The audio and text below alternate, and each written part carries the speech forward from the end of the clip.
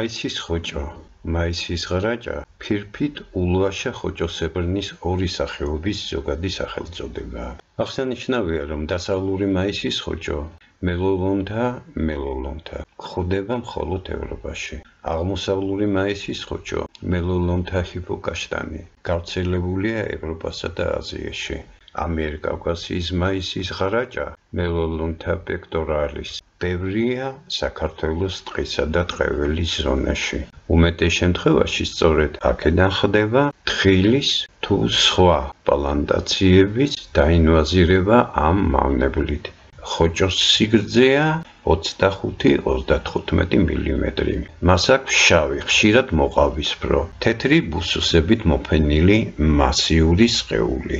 ეს სხეული გრავიტაციის კანონების შესაბამისად არ უნდა ფრინავდეს. ცხადია, რომ მაისის ხოჭომ გრავიტაციის კანონების შესახებ არაფერი არ იცის, შლის ფორთებს, ლევიტირებს ჰაერში და მიფრინავს წამში 3 მეტრის სისწრაფით. ფაქტია, რომ მაისის ხოჭოებს შეუძლია დღეში 20 კილომეტრის სიგრძის მანძილის გადაფრენა. აღსანიშნავია ისიც, რომ მათ ლამანში სრუტეც გადაიფრინეს. ეს კი 50 კილომეტრზე მეტია. მაისის ხოჭოების სასიცოცხლო ციკლი სხვა ხოჭოების სასიცოცხლო ციკლის ანალოგიურია და შედგება პირველი კვერცხის, მეორე ლარვის, მესამე ჭუპრისა და მეოთხე ხოჭოს განვითარების სტადიებიდან. გადაზამთრებული ზრდასრული ხოჭოები მაისის თვეში უკვე გამოძვრებიან ბუდეებიდან და მაშინვე იწყებენ აქტიურ ცხოვრებას. ისინი ფრენას იწყებენ უკვე მაისის დამდეგს, სამხრეთ რაიონებში კი აპრილის ბოლოს. სწორედ ამიტომაც უწოდებენ მათ მაისის ხოჭოებს და მეურნემ ბრძოლა მაისის ხოჭოს წინააღმდეგ სწორედ აი ამ პერიოდს უნდა დაუკავშიროს. გამოფრენიდან 5-6 კვირის პერიოდში მაისის ხოჭოები ედებიან ხეებს, ხალბათ იკვებებიან ახალგაზრდა ფოთლებით, კვირტებით, კენკრით და ასე შემდგომ. ისინი აშიშვლებენ, სპობენ მცენარეთა მაფოტოსინთეზირებელ აპარატს. ბევრი ხე ამას ვერ უძლებს ნელ-ნელა ხმება და იღუპება მიწიდან გამოფრენილი მაისის ხოჭოები 5-7 კვირიან პერიოდში იკვებებიან, წყვილდებიან, დებენ 70 ცალამდე კვერცხს. მეურნემ კარგად უნდა იცოდეს, რომ მაისის ხოჭოები კვერცხებს დებენ მიწაში, უმეტესად ხის ფესვების ყელთან. კვერცხდების შემდგომ კი იღუპებიან კიდეც. კვერცხდებიდან 30-40 დღის განმავლობაში იჩეკებიან ლარვები. სეზონის ბოლოსათვის ისინი უკვე 25-35 მმ-ის სიგრძის და საკმაოდ სქელი, კერძოდ 5-7 მმ-ის ხარაჭებად გარდაიქმნებიან. ჭუპრად ქცევამდე ისინი აშენებენ მიწისქვეშა გვირაბების ქსელს. იკვებებიან ცენარეული ფესვებით. არღვევენ მათ წყალმომარაგებისა და საკვებ მომარაგების სისტემებს. ბუნებრივია დაზიანებული მცენარეები ჩამორჩებიან ზდა განვითარებაში და ბევრი მათგანი იღუპება კიდეც. ამ პერიოდში ხრაჭები კანს ორჯერ იცვლიან.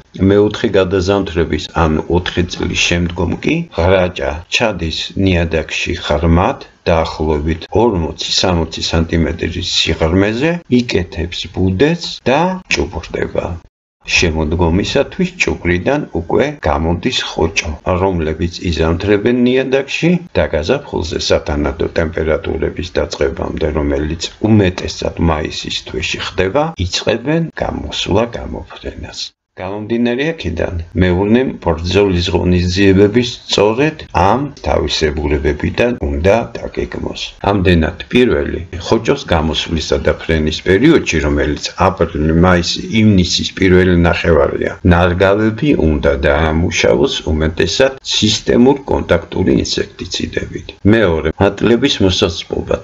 სექტემბერ-ოქტომბრის პერიოდში თხილნარებში, ბაღებში, ვენახებში და ასე შემდგომ ფესვის ყელიდან 2 40-50 სანტიმეტრის რადიუსში სპეციალური სკინის ბურღების მეშვეობით 20-25 სანტიმეტრის სიღრმეზე ყოველ 5-5 სანტიმეტრში აკეთებენ ხვრელებს.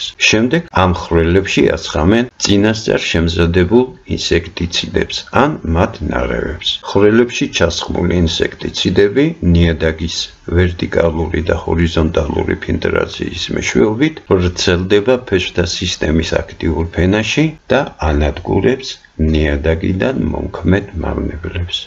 მესამე კვერცხების დადებისათვის, რომელიც მაისისა და ივნისის თვის პერიოდს ემთხვევა, უნდა ჩატარდეს პლანტაციის თოხნა კულტივაცია ფესვის ყელიდან 30-40 სანტიმეტრ რადიუსში. სასურველია, თუ ეს კულტივაცია ჩატარდება მოტობლოკებით, ფრეზებით. ეხლა, რაც შეეხება მისტიურობას და საოცრებას, მეცნიერებმა, კერძოდ ენტომოლოგებმა, შეამჩნიეს, რომ ხოჭოს ზედა ფრთების ერთმანეთს მიწაზე დალაგების შემთხვევაში ისინი უცნაურად იქცეოდნენ, განიზიდავდნენ, ლევიტირებდნენ და ასე შემდგომ. ამის შემდეგ მეცნიერებმა გადააბეს ერთმანეთს ფრთები, შექმნეს ფრთების ბაქანი, რომელზედაც დააგდეს რკინის სხეული, ამ შემთხვევაში სკრები. ეკრანიდან აშკარად ჩანს, რომ ბაქნის ზედაპირმა უცხო სხეული არ მიიღო. გადმოაგდო ისე, რომ მას ზედაპირზედაც არ შეხებია. მეცნიერებმა ისიც შეამჩნიეს, რომ რამოდენიმე წამით ეს სხეული თვალით ხილავიც გახდა. ჩვეულებრივი ელექტრონული მიკროსკოპებით, სკანერებით და სხვა საშუალებებით ფრთების შესწავლამ კი დაადასტურა, რომ ისინი შედგებოდნენ ძალზედ რთული ბუნებრივი კომპოზიტებისაგან და ხოჭოს ლევიტირება და ფრენა სწორედ ფრთების აგებულების თავისებურებას დაუკავშირეს.